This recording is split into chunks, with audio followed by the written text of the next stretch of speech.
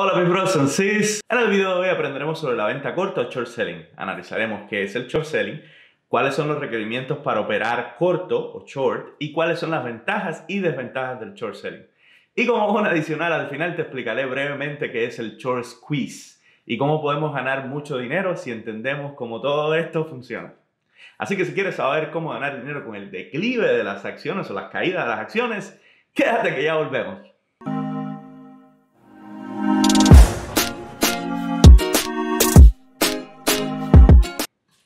Para los que nos siguen por primera vez, mi nombre es Frank y en este canal te enseño todo lo que tiene que ver con el mundo del trading y las inversiones en la bolsa. Así que si quieres saber de cómo invertir en la bolsa de valores, no olvides de suscribirte sin olvidarte de la campanita, ¿eh? Campanita include my bros and sis. Por cierto, si quieres hacer trading con mi grupo en Discord, en la descripción del video tienen el link al chat de nuestra comunidad SPT donde se pueden registrar de manera gratuita. Ya tenemos muchísimos miembros allá compartiendo inversiones y todo esto del mundo del trading.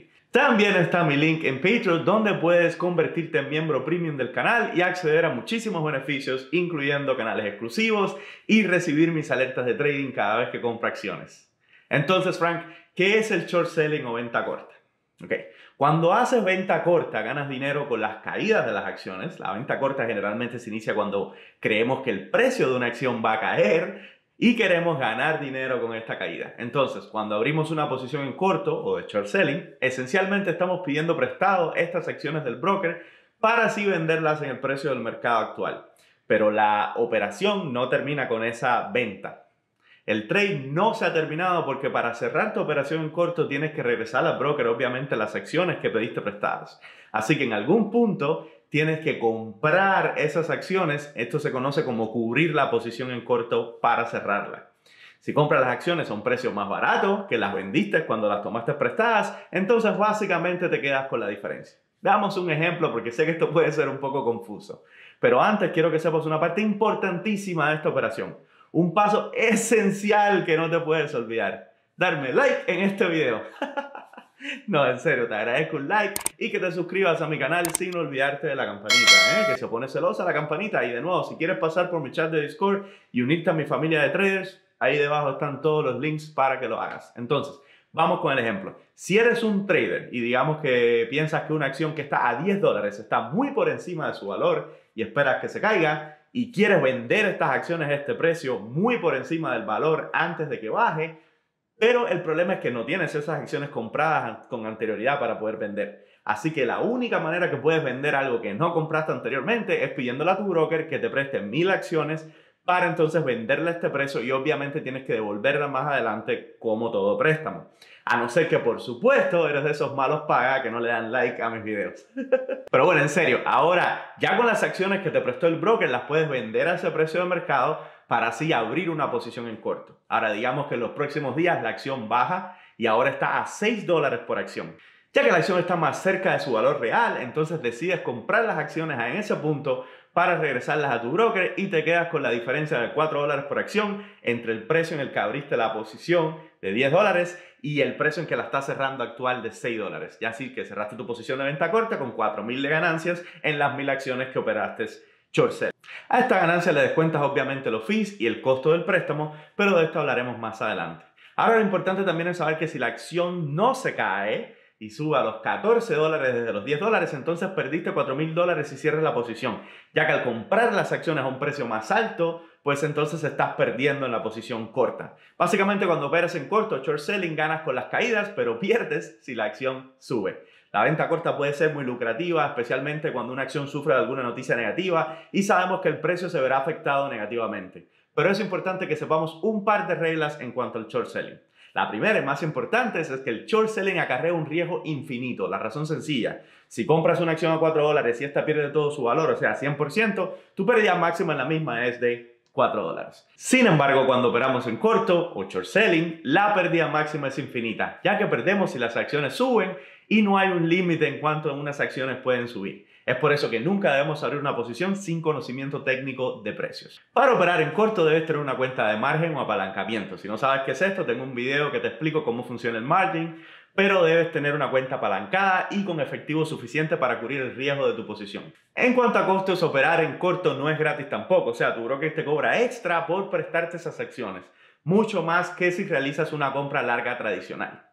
Esto se conoce en inglés como borrowing fee o price to borrow. En mercados volátiles o en acciones que están en alta demanda para venta corta, este costo es significativo. Así que siempre chequea con tu broker cuál es el costo adicional para operar una acción en corto específica. En muchas ocasiones vas a ver que una acción no tiene la opción de operar en corto y esto es porque no todas las acciones son chorbo o están disponibles para pedir prestadas en corto. Algunas otras son hard to borrow o difíciles de, de pedir prestado y tienen algunas reglas especiales y tienes que ser parte de algún programa, así que no van a estar disponibles. Y finalmente, cuando operes en corto, tienes que tener un poco de cuidado porque si las acciones que vendiste prestadas del broker siguen subiendo, y tu efectivo en la cuenta no puede cubrir la pérdida, el broker te puede, te puede poner lo que se llama un margin call y pedirte que regreses las acciones antes de que tú decidas cerrar el trade. Esto se llama callback y ocurre cuando tu broker, como prestamista en fin, entiende que tu dedo es muy riesgosa y cierra la posición para garantizar que devuelvas tu chocolate. Ya sabes, como la canción de Toma chocolate, paga lo que debes. el chiste malo merece un like. Las dos métricas más importantes en cuanto a short selling son el short interest, SIR, SIR, que es total número de acciones que se vendió en corto como un porcentaje del total de acciones de una acción determinada. Y la otra métrica importante es el Short Interest Ratio, que es el número total de acciones vendidas en corto dividido por el promedio de volumen de dicha acción. Esta métrica se conoce como Days to Cover Ratio, que significa en español pues días para cubrir. Como el nombre lo indica, si una empresa tiene 100.000 acciones vendidas en corto y un volumen diario de trading de 25.000 acciones, entonces su short interest ratio sería 4. Este número 4 también se usaría como los días que tomaría para que los short sellers tuvieran que cubrir esa posición con pérdida si la acción empezara a subir. En este ejemplo serían 4 días. Ahora vamos a hablar del famoso short squeeze y cómo funciona de manera sencilla. Si quieres saber más del short squeeze en detalle, te recomiendo este video que hice en vivo cuando las acciones de GameStop salieron disparadas debido a un short squeeze masivo. En él te explico el fenómeno único que se dio con GameStop en detalle. Un short squeeze pasa cuando una acción que está operada en corto, en un alto porcentaje, empieza a moverse en dirección contraria con un movimiento brusco de alza en los precios, ya que las posiciones en corto pierden cuando las acciones suben. Al cubrir las pérdidas, los shorts salen corriendo para no perder. Esas compras de cierre hacen que el precio suba aún más. Un short squeeze es el sueño de un trader que opera en largo eh, o long y la pesadilla de uno que opera en corto. Si vemos, por ejemplo, este ejemplo de Fugo, que en el momento estaba operada con 40% de SIR o short interest, vamos a ver qué tipo de movimiento se puede producir. Miren nada más el movimiento más agresivo en alza que hizo Fubo causado por los compradores y los shorts cubriendo al mismo tiempo sus posiciones con pérdidas. Y bueno, eso es todo con respecto al short selling, mis amigos. Una cosa más que quiero que todos recuerden es que cuando operamos en corto, estamos apostando en contra del mercado y desde los 1920 que existe Wall Street hasta ahora el mercado siempre ha subido. Así que mucho cuidado cuando operemos en corto. Siempre tiene que ser de corta duración para evitar sorpresas. Short selling es también considerado por muchos una estrategia carente de ética, ya que estás apostando también en contra de empresas reales y hasta de la economía. Dicho esto, sigue siendo una manera muy efectiva de generar ingresos y operar los mercados, y es usada por todo, incluyendo las principales instituciones de la bolsa, y totalmente legal hacerlo. Otra manera de operar en corto incluye comprar puts de acciones y los ETFs inversos, aunque de estos hablaremos en otros videos. Entonces, si te gusta el contenido y aprendiste algo nuevo, una oportunidad final de que te suscribas a este canal sin olvidarte de la bendita campanita, ¿eh?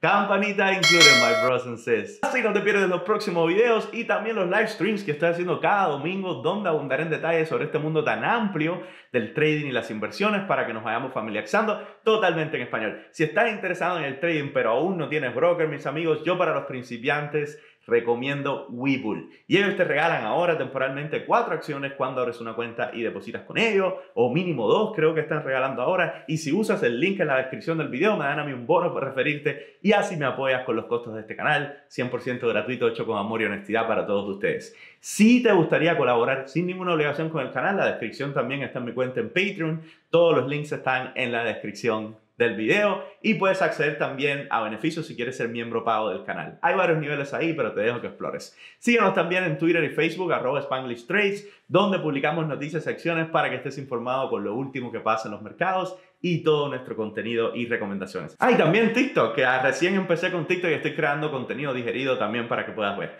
Ah, y no te olvides, si quieres unirte al chat de la familia SPT, muy importante, el grupo de Discord está aquí debajo también. Todos los links están en la descripción del video. Eso es todo, mis bros and sis. See you en el próximo video.